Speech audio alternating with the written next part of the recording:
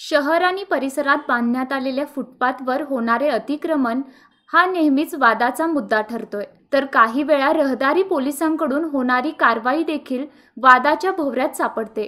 यामुळे फुटपाथवरील अतिक्रमणांच्या समस्येवर कायमस्वरूपी तोडग्याची गरज व्यक्त होत आहे.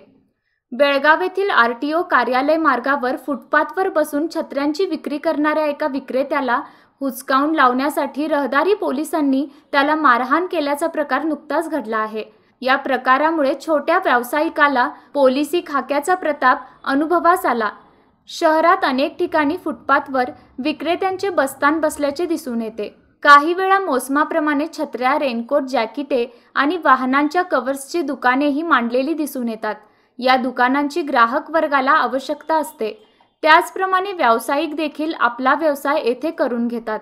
मात्र शहरातील काही फुटपाथांवरील वाहनांचे आणि व्यवसायांचे अतिक्रमण किंवा फेरीवाल्यांचे बस्तान हे नेहमीच नवनव्या समस्यांना निमंत्रण देत असते. याकडे रहदारी पोलिसांनी नियमित स्वरूपात लक्ष देऊन त्या समस्यांचे निवारण करावे अशी मागणी नागरिकांमधून होत आहे. कॉलेज रोडवरील फुटपाथ हा व्यावसायिकांच्या वाहनांमुळे व्यापला गेल्याचे चित्र बरेचदा दृष्टीस पडते. विशेषत डॉक्टर राजेंद्र प्रसाद चौक येथून डाव्या बाजूच्या फुटपाथवर दुचाकी वाहने उभी करून आपली कामे उरकण्यासाठी निघून जातात. त्यामुळे बऱ्याच वेळापर्यंत ही वाहने या फुटपाथवरच उभी राहतात.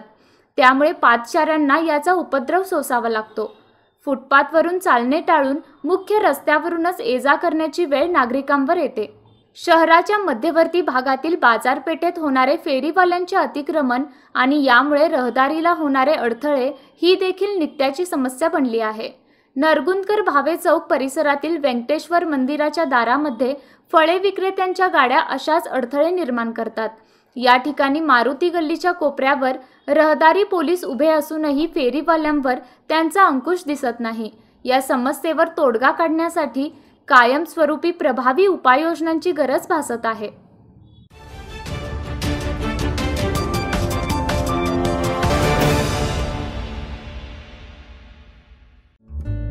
सबस्क्राईब करा Tarun Bharat daily Belgaum news channel आणि ताज्या घडामोडी पाहण्यासाठी बेल आयकॉनवर क्लिक करा.